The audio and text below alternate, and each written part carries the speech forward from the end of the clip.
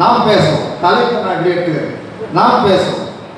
கை சிறந்ததா வாய் சிறந்ததா?